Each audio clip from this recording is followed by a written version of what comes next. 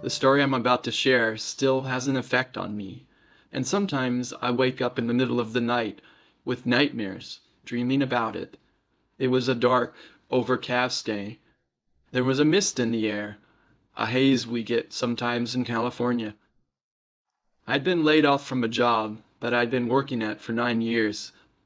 I'd been tuning pianos off and on over the years, but I hadn't been doing it for the last few years because while working full time I didn't have time with the demands of my full time work to do it. Well, that changed when I was laid off. I started tuning pianos to make ends meet while I searched for a new job. There was a message on my phone. The voice on the message was faint and a bit hard to hear, requesting a piano tuning. I called back later and set up a tuning appointment. When I arrived at the piano house, I looked through a tall maze of weeds at the house through my car window. The house was ominous and old, and had faded drooping wood slabs that were gray from years of neglect. The house had a presence about it that made me feel uneasy. I drove toward the house. The road leading to it was full of cracks, with weeds creeping through the cracks. The road was framed on both sides with eight foot limestone rock walls. I parked, and I got my piano tuning kit and approached the front door. The front door's doorbell wires were frayed, so I could see the doorbell wouldn't work. I knocked loudly three times. I could hear my door knocks echoing throughout the house, and there was a rustling of someone moving behind the door as someone approached. I could see a silhouette of someone approaching through the thick curtains. The door opened slowly. An older woman peered up at me through a dark room from behind the door. She gestured me to follow. I followed her. The room's darkness sported shadows that covered her face. She pointed to an upright piano sitting in a corner in the room. There was one dim light in an opposite corner in the room. When I first entered the room, because of the room's darkness, I wasn't able to see the woman's face clearly. As my eyes adjusted, I could see the old woman was dressed in an old gray dress with a lace scarf. She was holding a small leather bound book that she clutched into her chest. I walked to the piano. I took out a flashlight, and with its light guiding me, I started to remove the top cover screws in preparation to tune the piano. The old woman watched me curiously as I removed the screws holding the piano cover in place. I looked down at the piano and could see that some of the piano were worn and had broken ivory tops missing, but it still seemed playable. As my eyes continued to adjust to the darkness of the room, I could start to see a bit clearer, and I looked over. The old woman was watching, and I glanced at her face. I was startled as one of her eyes was glazed over with a dull glow reflected from the room's only light, giving her a terrifying appearance. Trying not to show my surprise, I looked away from her face. Around the gloomy room there was an old tattered music box and some shelves with old bound books. I noticed that there weren't any framed photos. The whole experience so far left me uneasy. I put my piano tuning kit on the table and got my tools ready to begin tuning.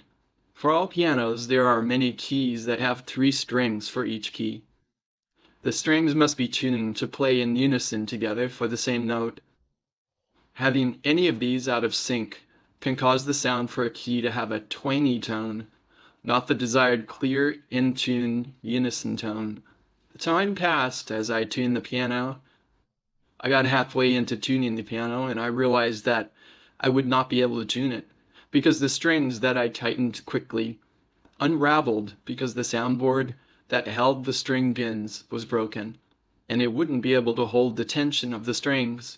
I realized because of my concentration that I did not notice the older woman was no longer there watching me. I was alone.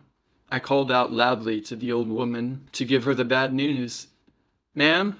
No response. I called out again. No response. I wondered if maybe the old woman had left without my noticing, to run an errand or such. I went to my piano tuning kit case and searched for a piece of paper and a pen.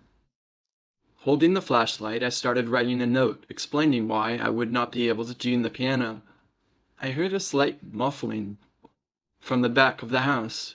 I stopped writing and listened. Silence. I waited a few seconds and called out again. No response. I ignored my rising fear as my arms began to fill with goosebumps. I continued writing the note. I called out again, "Hello, is anyone there?" But there was no response.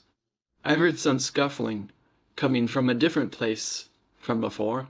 The silence in between the muffling sounds was stifling. "Hello!" I called out. "I'm going to be leaving. I'm not able to tune your piano because there's a problem with the piano." No response. I did hear more muffling sounds that were getting closer to me.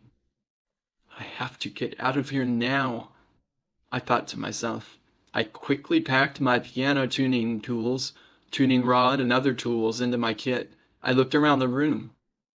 I did not want to have to come back if I missed anything. Ever. I had to make sure that I had everything before leaving. I rushed to the door and dropped the flashlight in my haste. And it rolled under an ornate desk. It would not be reachable without moving the heavy desk. I left it and ran out of the door to my car.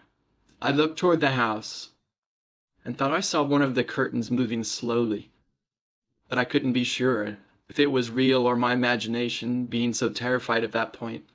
I was overcome by an overwhelming feeling of being watched coming from the house. I felt like the old woman was watching into my very soul. It's hard to describe the unsettling feeling I experienced, but it was draining, deeply encompassing. It left me feeling like I was on the verge of passing out with panic. It also left me feeling very tired.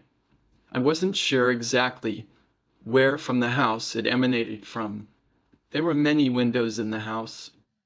It could have been coming from any of them. As I began to back out from the house, I realized I would not be able to drive away to get out of there fast. Every part of me wanted to race out and back away from that house as fast as possible, spinning my tires, screeching out of the driveway. But to do so would have caused me to scrape the car door on either side of the narrow facing stone walls, on each side of the path of the road. I would have to drive out slowly, and thus endure the overwhelming presence I was feeling. The road being a hundred feet was long to me. It felt like miles. Finally I reached the main road and turned out onto it to leave the place. I let out a breath of relief. I drove away rattled as I wiped cold sweat off my brow. It was not till later, thinking about what had happened, that I realized how scary that experience was. Looking back on it, I wondered to myself if that was a ghostly specter that had drawn me into a trap like an insect caught by a spider's web. Or was it just some crazed older woman wanting to drain my energy like an energy vampire or such? I leave it to you to decide. Nestled in the foothills of Ventura, California, is my grandmother's house. It sits at the top of the hill in a picturesque neighborhood, flanked by views of the rolling hills behind. It's a large, spacious, two-story dream house with a shaded garden and a large patio. Naturally, it was the idyllic family gathering place for decades. But despite its charm, something about Grandma's house has never been quite right. Growing up, I was terrified of the house.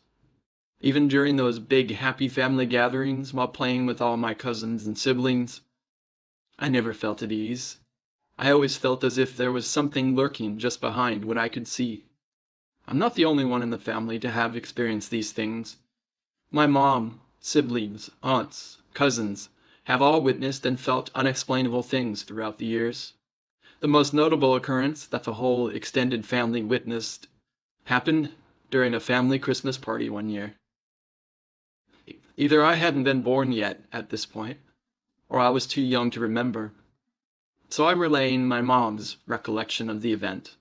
According to her, the entire family was gathering downstairs to exchange Christmas presents. From the sitting room where everyone was, there was a clear view of the wooden staircase and the upstairs landing. Everyone was merrily talking to each other, when suddenly they heard heavy footsteps walking across the wood floor of the hallway upstairs. That was odd. Everyone in the family was downstairs and accounted for. The group all fell silent and glanced upstairs. The footsteps continued. By this point the person walking would have been in full view of the family. But still they saw no one. The mysterious footsteps reached the landing and proceeded downstairs. Every footstep on that wooden staircase was loud and echoed across the room. The footsteps walked all the way down the staircase, eventually halting for a moment at the bottom of the stairs, just mere feet away from where the family was gathered. Everyone looked at each other. Then the footsteps began again, this time continuing on and walking past where they were sitting, heading out of sight and through the kitchen, before finally disappearing out the back door. Most of what the extended family witnessed over the years was mild and easily brushed off. The worst happenings always seemed to be concentrated around my immediate family. Whatever the reason, the thing that exists in that house has a particular distaste for my mother and her children. My mom's experiences started before I was born. Shortly before the birth of their second child, my mother and father moved into this parents' house, my grandmother's. From the very beginning, strange things began happening. My mom would hear movement downstairs, despite being the only one home. One day she was upstairs working on something, when she heard the rear sliding door of the house downstairs open and close again. Knowing she was the only one there, she got up to check. As she walked, she heard the door downstairs start opening and closing repeatedly. Then came the sounds of furniture moving and scraping across the floor, as if several people were moving things about, as she stood there, paralyzed. The small family dog came sprinting upstairs, barking and stairs landing, and peered down, but saw nothing. As soon as she came into view, all of the noises stopped. As she turned to head back down the hallway, the noises resumed with a fury. She turned back and looked again, only to once again find everything still and quiet. This happened several more times, before my mom finally retired to her bedroom, only to have the noises stop entirely. On a different day my mom was showering upstairs. Someone knocked on the bathroom door and called her name. My mom responded, shouting over the running water. The person on the other side of the door didn't answer. Instead, they started knocking faster and louder, while repeating her name. Finally, my mom turned off the water, and dried off to go see what the person wanted. Wrapping a towel around herself, she opened the bathroom door, to find an empty hallway. On another occasion, my mom was in the later stages of pregnancy with one of my older brothers, and was heading downstairs from the upstairs landing. As she reached the top of the staircase, she suddenly felt strong hands shove her, trying to throw her down the tall wooden stairs. She caught herself on the railing just before she fell. She spun around to confront her attacker, but again no one was there. There were times when strange things happened that my mom was blamed for. One afternoon my grandmother had just finished washing and putting away the kitchen silverware. My mom went into the empty kitchen to grab a glass of water and then retreated upstairs. A few minutes later my grandmother yelled angrily up at her for her to come downstairs. My mom entered the kitchen to find it a mess. The kitchen drawers were laying across the floor in disarray, with all the silverware strewn across the ground. As they were the only two at home, my grandmother blamed my mom for it, no matter how much she tried to convince her that she had nothing to do with it. On a different night, my mom and dad were in their room talking when they were interrupted by a knock on the bedroom door. My mom said come in, waiting for whoever was on the other side to open the door. All was silent for a moment, and no one came in. My parents shrugged to each other and continued talking. A moment later the knock happened again. Again they both fell silent. My mom called out for whoever it was to come in. This time the doorknob slowly turned, the door slowly creaked open, but at first it looked like there was no one on the other side. That is until my mom looked closer. On the other side of the door handle was a woman's hand. There was no body connected to it, only the lone, disembodied hand. The hand was small and unbelievably pale white, tipped with crimson red fingernails. After a moment of staring at it in horror, the door slowly closed again. The incident with the disembodied hand wouldn't be the last. I saw it myself, years later, while playing. One afternoon my cousins and I were all involved in a classic game of hide and seek. One cousin and I both decided to hide upstairs in the very same bedroom that my mom and dad had slept years before. We hid behind a folding table in the room and giggled, shushing each other. After a few minutes we heard the door to the room open. She and I peeked over the top of the table to a ghastly sight. No one stood in the doorway. The only sign that someone was there was that horrific woman's hand clutching the doorknob. As long as I live I will never forget that horrible, deathly paleness of it, and the color of those bright red nails. My, co- my cousin and I both screamed and ducked back behind the table. When I finally gathered the courage to peek back at the door, the hand was gone. This wouldn't be the only thing I experienced while in the company of my cousin. One day we were laying in a hammock in the backyard together.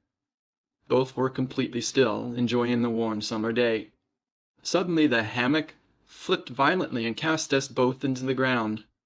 My cousin slammed her head into the metal support for the hammock, and we both laid there in a daze for a moment, wondering what had happened.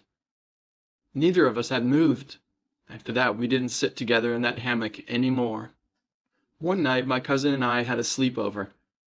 A friend of ours and I slept on the floor in a pile of blankets, while my cousin slept with her mom in the bed. We fell asleep without a problem. But something woke me in the middle of the night. When I opened my eyes, I saw a large black shadow standing at my feet, between me and the door. I didn't have my glasses on, so I squinted at it for a moment assuming that it was our friend, and that she had gotten up to use the bathroom. I brushed it off, rolling over, and went back to sleep. The next morning my cousin informed me that she had seen a black shape leaning over me during the night, and that our friend, who I had mistakenly attributed the shadow to, was still sleeping soundly beside me the entire time. And while these stories are certainly unnerving, I've saved the best for last. This is one of my earliest and most horrifying memories. I was young, probably four or five years old. My grandparents had a shaded, fenced in garden on the side of the house. Close to the side door was a small koi pond. I loved watching them swim in that pond as a child. One day I was standing about two feet back from the pond while watching the fish. I was alone in the garden, but I suddenly felt like someone was there with me. Before I could react I felt two strong hands push me from the center of my back, sending me careening forward until I landed face first in the pond. The pond was shallow.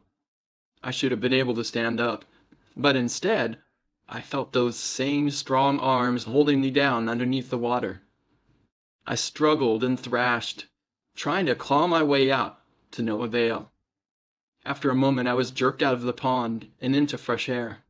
Thankfully my mom had been watching from inside and witnessed the entire incident.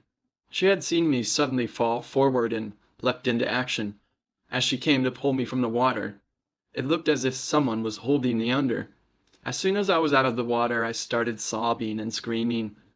I insisted that I'd been pushed and swore up and down that it had been my older brother, as he was the type to do that sort of thing.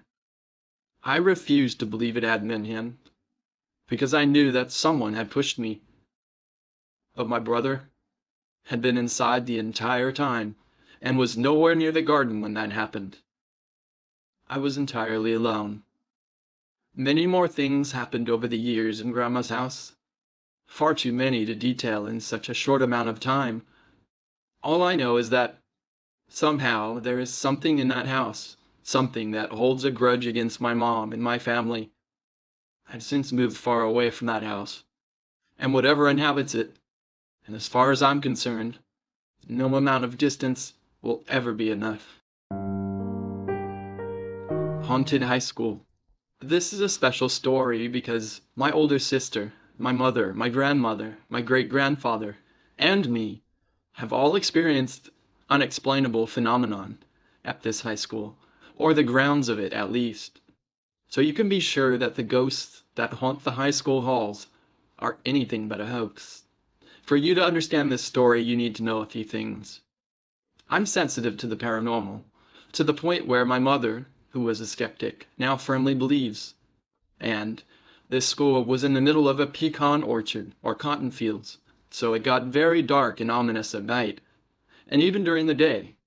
It was so solitary at the right time, it wouldn't be hard to believe something was in a tree, window, or corner, watching you. Everyone who goes to or went to this school knows the story of Anna. In the first years of the school opening, a student named Anna, last name unknown, had planned to attend the dance party and was being hosted by the school. Some say it was a prom, others a homecoming, and some say it was a football game.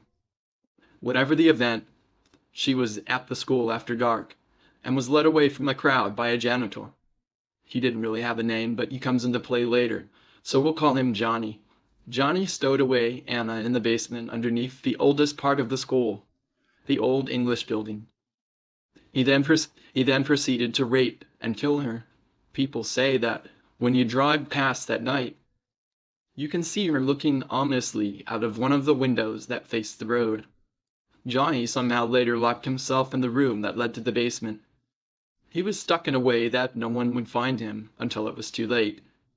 Some people say that he cooked in the little room, due to the hot summers and poorly insulated room. Others say he starved. Nearly everyone had agreed that a weird feeling was near that door, especially the girls. When my grandmother went to the high school, she liked to fix her makeup in the girls' bathroom. One day before she got settled into doing her makeup, she slipped into one of the stalls to use the bathroom. The bathroom was empty as she sat on the toilet. Her favorite mascara fell out of her pocket and rolled into a stall three down from her. She bent down to watch where the mascara landed so she could grab it when she was all done. She saw no feet, no bags, no other girls were in the bathroom. When she straightened up, she heard a weird scraping sound, and then she felt something tap her foot. Looking down, she was horrified to find her mascara right next to her shoe. She booked out of there and never went into that bathroom alone again. She added that the mascara had fallen and had a scrape mark like it was dragged, not simply dropped. My grandmother experienced other minor things there, but nothing she would tell us as avidly as that. Like I said, my mother was a skeptic. Nothing too big happened to her when she was going to the high school, but it was persistent enough for her to notice. She'd hear her name called in empty hallways. She'd feel someone pulling her backpack or sweater and turn around to find no one there. But the biggest thing that happened was with whom now I think was Johnny. My mom walked around campus a lot, with no one else around. The original building that was made is what we now call the Old English Building, a two-story building that was essentially one long hallway that turned abruptly right into what we used as the only gym but it's now the girls' gym. From where my mother was standing when this happened, to her right was a set of stairs that led to the girls' gym. And under the stairs was a door to a room that custodians used for their plumbing tools. That was also the door that led to the basement. As my mom passed, as my mom passed, she heard that door there slam shut. And then there was a banging on the large heavy metal door. The banging was so hard and fast that the door rattled. My mom took a step toward the door and suddenly heard a voice. Then she hurried and walked up to touch the door, and the banging and voice stopped. She answered by saying something like she'd bring back help and to calm down. As soon as she stopped touching the door and turned to get a custodian, the voice and banging resumed. She brought a custodian down. The banging and voice had stopped and the custodian got mad for wasting his time and stomped off. My mother's English teacher told her not to worry about that noise. It was just the custodian. That's what the ghost was more widely known as. However, my mom thought it was another student messing with her. She had a lot of guy friends who be able to slam and bang a door like that until it rattled. They were always trying to scare her. So that's what she chalked it up to at the time. My sister entered the high school the year before I did, and small things happened to her that would sometimes scare her. But it wasn't until the following year, when I joined her there, that things kicked up for the both of us. That August, before going to breakfast, my sister and I were doing our makeup at the mirror that we shared in our room. I was acting like a brat. I was acting like a brat, and I didn't let her finish putting on her makeup. She only had mascara left, so she went into the bathroom at the school cafeteria. After she entered the bathroom, she felt a cold chill, but thought maybe the AC was working extra hard, because it gets hot out there. My sister had been trying to put her mascara back into her backpack when she dropped it and it disappeared. She was alone in the bathroom, on her hands and knees, all out searching for makeup. Finally, she gave up and turned to the sinks to wash her hands. The mascara was rolling toward her.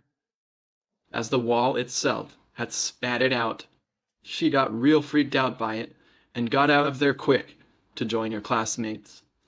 The Old English Building was a particularly hated building for me. The first time I ever entered it, I was with my first real boyfriend, who, at the time, was trying to convince me to go to bed with him. Being a freshman in high school, I didn't want to, but not wanting to upset my first real boyfriend, I didn't outright tell him no. When we walked into the Old English Building, nothing really happened right away. We were holding hands, trying to familiarize ourselves with the school and where our classes would be. We talked leisurely through the halls, and suddenly it was like I ran smack into a wall. I was struck mid stride. One foot in front of me, one back, and for whatever reason I let go of his hand with so much disgust that I don't recall. That I kind of pushed him too. I remember feeling like I was surrounded by this whirlwind of stop, don't do it, turn around, no, don't, stop. Not those words, but that sentiment just engulfed me. Out of the corner of my eye, I saw that we had just passed the doors to get to the girls' gym. Beneath that would be the basement that Anna was found in, and the room that Johnny the custodian was found in.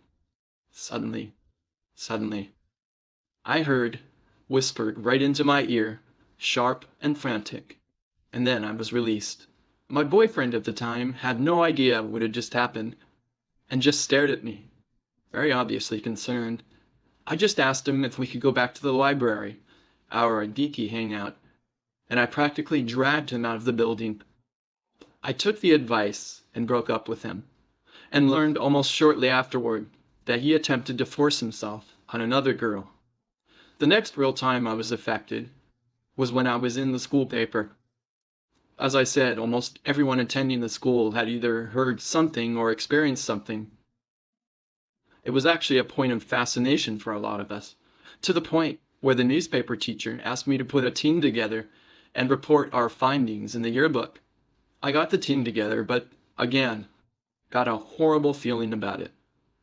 We did research, wrote out our article, and we all thought of ways to extend this portion of the newspaper. It was October, so we needed a story to sell newspapers. The teacher suddenly burst in with a custodian and happily reported, We're going in, guys. Grab the cameras and tape recorders. The teacher was a little old school, so we had to use handheld recorders. We have clearance for our team to go into the basement, the teacher gleefully added. My blood turned to ice.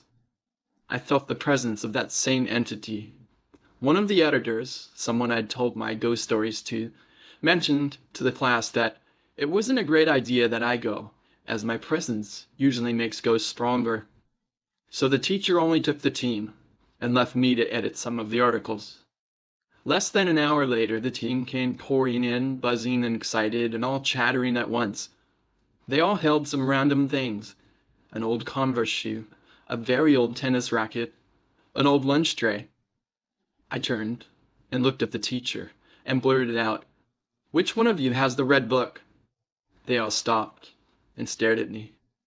I didn't plan on asking them that question. I had planned on asking how it went and joking about who got spooked the most. But that question came out instead. The same student who told the teacher I should stay behind came from the back of the group, from where I couldn't see him, and held out a large, thick, red dictionary in his hand. I didn't touch it. I nodded and finished editing the paper. I felt like throwing up the rest of the day. I had no idea how I would have known about that book. That same student took the book home and didn't report any paranormal phenomenon at home. This is a story from Lincolnshire in the United Kingdom. I was talking to my mom today, and at the end of our conversation, she meekly said she had a story for me. It's funny, I thought she would have been enthusiastic to share this story, but it seems to have shaken her. So on Saturday she went back to her local hairdresser's in the parade of shops in her town. The town is made up of three rooms, separate but knocked together in a way you could see through. The first by the door is the reception, which was unmanned, and where you would sit if you were waiting. The third room had the sinks, washing machine, and stairs to the upstairs. My mom was sitting in the chair, with her glasses off, but looking into the mirror. She can still see, but not exacting detail, to be fair. But at some point she became aware that Someone was waiting by the reception counter. The person was standing patiently. He was tall and wearing a dark overcoat. He was standing there long enough that my mum became agitated that nobody was serving them. She was turning her head to see better, but the hairdresser asked her to be still. What's wrong? my mum said. I think you should serve that person. They've been waiting there for a while. The three other women looked at her blankly. There was nobody there, they said. That's when the hairdresser explained that they have a ghost. But usually he's upstairs. They've seen him several times. And she's so scared of being left alone, she avoids it at all costs. Mum felt instantly guilty. She didn't mean to scare her. She truly thought someone was waiting, so she played it down. Must have just been a person walking past, she said. But she said to me, she knows what she saw.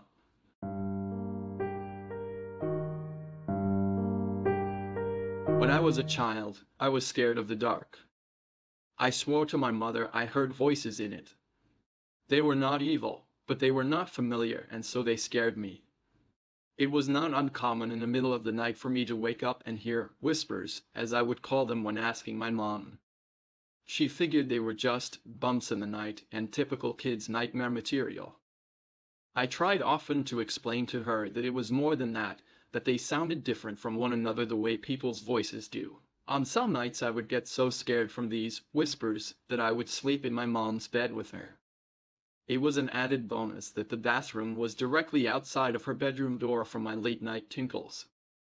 I should add at this point that when walking out into the hall to go to the bathroom, you look directly down the stairs that would lead you into my living room on the first floor, as my mom's bedroom was on the second floor.